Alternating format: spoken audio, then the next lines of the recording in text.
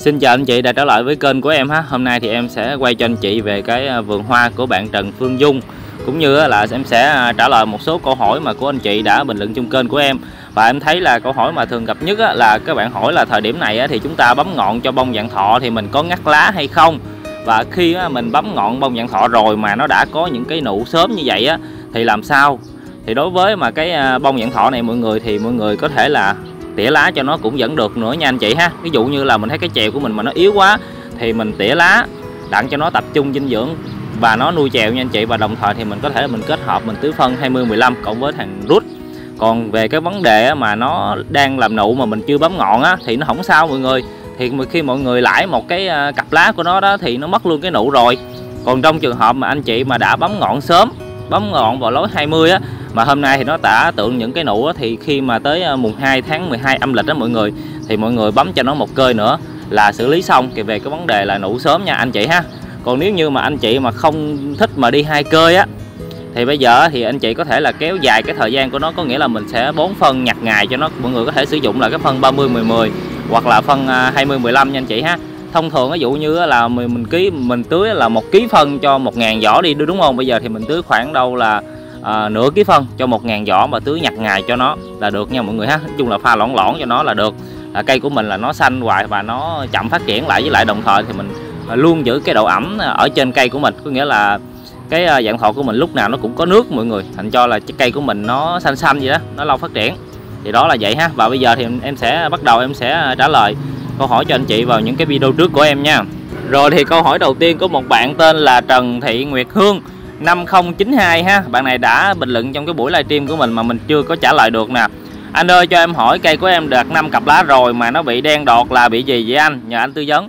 Thì khi mà cây của mình mà nó bị đen ngọn á, là do bộ trĩ nó chích hút ở cái đầu ngọn của mình. Các bạn có thể là mua cái thuốc là Confido để các bạn xịt cho nó nha. Và khoảng đâu là 4 ngày sau, bạn có thể là bạn sử dụng thằng humic trong biển để bạn dưỡng lại cho cây. Là cây của mình là nó phát triển ok nha.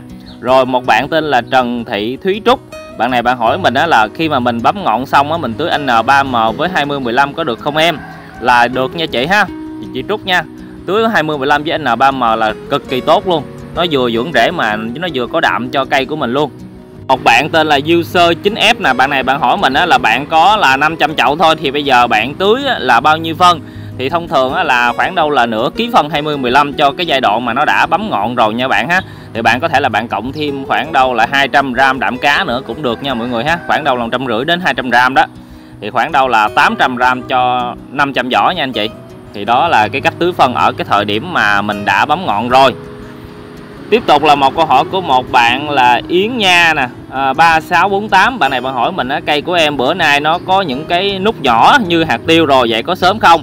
Thì như lúc nãy thì mình có nói trong cái thời điểm này mà nó đã làm nụ rồi là sớm nha bạn ha. Thì có hai cách. Một là chúng ta sẽ lãi nụ bỏ là đi cơi hai. Hoặc nữa là chúng ta sẽ kéo dài cái thời gian của nó bằng cách là chúng ta sẽ tưới phân nhặt ngày chúng ta có thể sử dụng là phân 20 15 hoặc là 30 10 10 để chúng ta tưới cho nó thông thường một ký phân á, là chúng ta sẽ tưới được 1.000 giỏ. Nhưng bây giờ ở ở đây thì chúng ta sẽ sử dụng là đâu là nửa ký phân thôi để chúng ta tưới cho cái à, dạng thọ của mình à, nha mọi người ha có nghĩa là chúng ta tưới lõn thôi không có được tưới mà nó dư lều quá. Tưới dư lều quá là cây của mình nó sẽ bị cháy rễ nha anh chị ha. Thì đó là cái uh, chia sẻ của em. Rồi tiếp tục là một câu hỏi của một bạn tên là Dân Dương 4576 nè. Bạn này bạn hỏi mình là ngắt ngọn xong phun 30 10 10 có được không?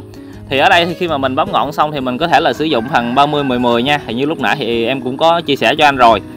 Rồi tiếp tục là câu hỏi của Thấm Lê 3922 nè anh cho em hỏi mùng 8 đến nay là mình có bỏ phân gốc dạng thọ không bạn? Thì bỏ phân gốc thì thông thường thì khoảng đâu một tuần lễ thì mình bỏ phân gốc cho nó một lần nha. Còn nếu như là bạn sợ phạm phân thì bạn hãy rải ở dưới cái đít chậu của nó. Ở đây thì mình cũng hay rải cái đít chậu lắm mình chia sẻ cho bạn vậy. Rồi tiếp tục là câu hỏi của một bạn tên là Cường Quách 7985 nè ngắt ngọn rồi. Tưới uh, 15 30 15 có được không bạn? Thì ở đây thì bạn có thể tưới được những dòng phân hóa học nha rồi, tiếp tục là một câu hỏi của một bạn tên là An Thi Thư 1570 nè. Là cho em hỏi 20 15 cộng với 30 10 10 có được hay không? Thì ở đây thì ờ, ờ, ở đây mình chỉ tưới là một trong hai thôi nha bạn ha. Còn nếu như là bạn cộng thì bạn cứ cái là 5 năm đi nha. Liều lượng thì cũng mỏng thôi chứ đừng có ờ, phạm liều quá. Phạm liều quá là cây của mình là nó sẽ bị cháy rễ nha. Rồi, tiếp tục bạn user 5S nè, cho chị hỏi hoa dạng thọ, ban mai ngắt ngọn có kịp 25 Tết không? Thì dạng thọ ban mai á, là mình sẽ không có ngắt ngọn mà mình sẽ đi cơi nụ. Mà mình chỉ ngắt ngọn khi cây của mình nó không đều thôi. Ví dụ như cái cây cao cây thấp á, thì mình sẽ ngắt cái cây cao cho nó bằng với cái cây lùn á, cho nó bằng nhau. Và mình sẽ lãi nụ. Thì uh, đó là cái cách mà bấm ngọn ở trên cái ban mai nha. Chứ thực chất thì nó chỉ đi cơi nụ thôi. Nó ra nụ bao nhiêu thì mình lãi bỏ hết. Tới ờ, uh, 12 tháng 12 thì mình sẽ không có lãi nữa. Thì hoa tự nhiên thì nó sẽ đúng Tết. Thì đó là cái cách trồng dạng thọ ban mai rồi tiếp tục là một câu hỏi của một bạn tên là Nguyệt Nguyễn 6806 nè. Bạn này bạn hỏi mình là thêm giá thể trộn với phân hữu cơ có được không em? Thì ở đây thì mình thêm giá thể trộn với phân hữu cơ thì là được nha chị ha. Thậm chí nó rất là tốt luôn.